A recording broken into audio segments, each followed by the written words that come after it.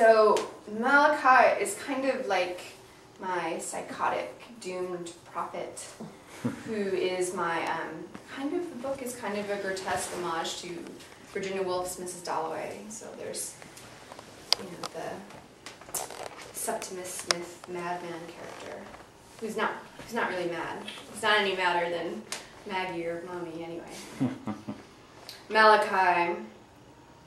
They pretend not to see him. He stands at the mouth of the highway and they roar past him in their metal cages. These metal cages that keep out the outside world, the unpleasant reality. They do not see him. They choose not to see him. His inconvenient prophecies. They are willfully blind. They do not care about being saved. They do not want to know how they are hurrying towards the end, the end that is near in their metal cages, their oil-guzzling monster trucks, their battle tanks that devour, devour up the lives of innocents. How, how can they not see what is there? How can they ignore what is in front of their faces? The sun, the sun, it speaks to him. He holds his face towards it. These people, yes, they are all prisoners, prisoners of their thoughts, their minds like small cages. They do not want to hear the truth. They are deaf and dumb to the truth. Small towns, small minds, middle class, middle of the world, middle, meddled, muddled. He holds up signs of elegant simplicity. Today's sign was instructed to him from on high. The men that lead you are evil. Do not go like flocks of sheep. He holds the sign up to the battery, chasing each other down the blazing concrete, like dogs chasing their tails, a barren landscape. The men that lead you are evil. Do not go like flocks of sheep. It is a simple sign, but they did not look him in the eyes, no, the eyes that know, the mouth that speaks truth. The men that lead you are evil. Do not go like flocks of sheep. They can be led like sheep by the butcher men, the butcher men that have slaughtered leagues of innocents. For what? For the black gold that powers the monsters he watches chase each other, a dizzying blur. Rush hour. Everything is a rush. Everything is fast, fast, fast. They slow down for no man. Dark speed monsters that is the signing bonus of a pack with the red-faced devil. He of horns, he in disguise, he allowed to live among mortals, he allowed to conduct evil, to murder, to thieve, and to stay on this earth in opulent grandeur.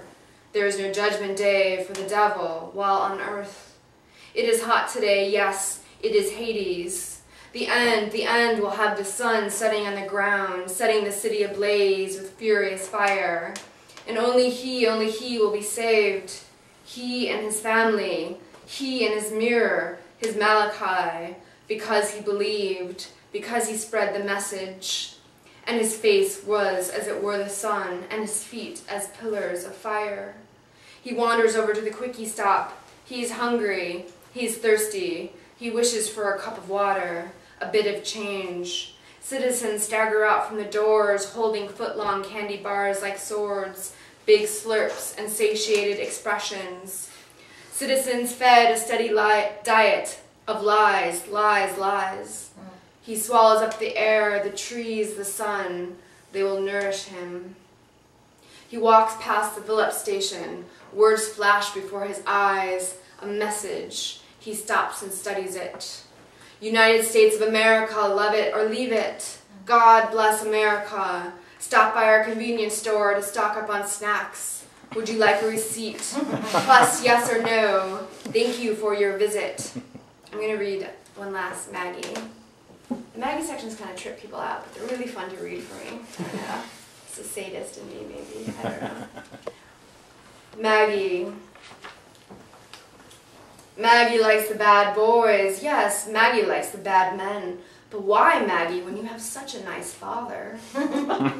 Maggie likes the wounded soldiers. She likes the fallen angels. She likes the devil types like her blonde Lucifer. Maggie likes the dark plus handsome, dark plus mysterious, dark plus brooding types. She likes the Marlon Brando types, the James Dean types, the rebels without a cause, and she is the nice Natalie Wood who wants to go on the wrong side of the tracks. Once Maggie lay down on the tracks, but the train didn't come and she got up again. That was attempt number one. Maggie the cat has nine lives. She wishes they would hurry it up already and be done with. If Maggie was a cat, she would be a black cat, and you better not cross her path. Maggie is very deep.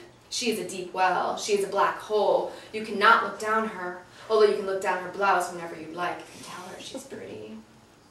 Maggie is afraid of falling, but Maggie loves to fall in love. Maggie is always falling in love with unworthy boys who destroy her. Maggie is currently quite sad because she's torn up over a boy. He's torn her to pieces. She keeps on waiting for him to rescue her and he never comes. She likes the bad boys, the ones that are bad for her. Maggie is self-destructive. She has a love instinct and the death instinct, and they are an internal cage match inside her head. This latest boy is playing with Maggie's head. Maggie is boy crazy. This boy has made her crazy. He's the cook at the restaurant where she waits tables. He's blonde and devilish and has thin, sinewy biceps and reads Nietzsche. He drinks scotch out of the bottle, which he chases with milk because of his ulcer, which because he feels so deeply, he is deeply tormented. He chases his scotch with milk, and Maggie chases him. He is a silent torture type like Marlon Brando with the stringy blonde hair and overcoat in Last Tango in Paris. Maggie likes the silent, brooding type.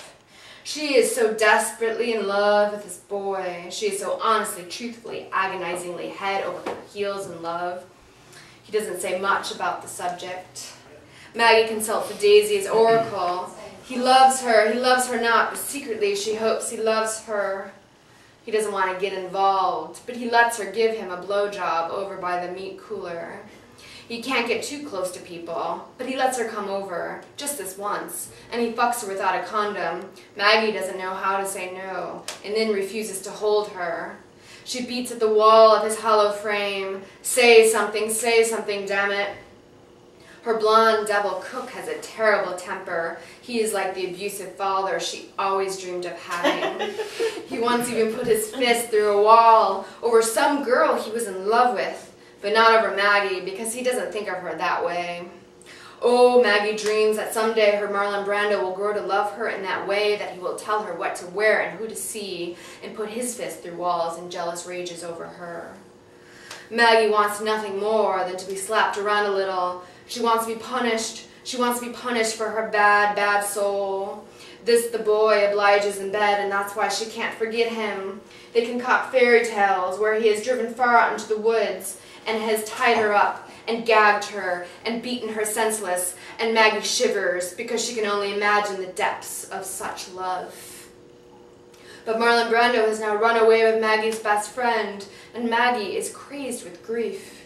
She writes some little notes, but she receives no answer. She leaves desperate cries for help on his voicemail, but he does not return her calls.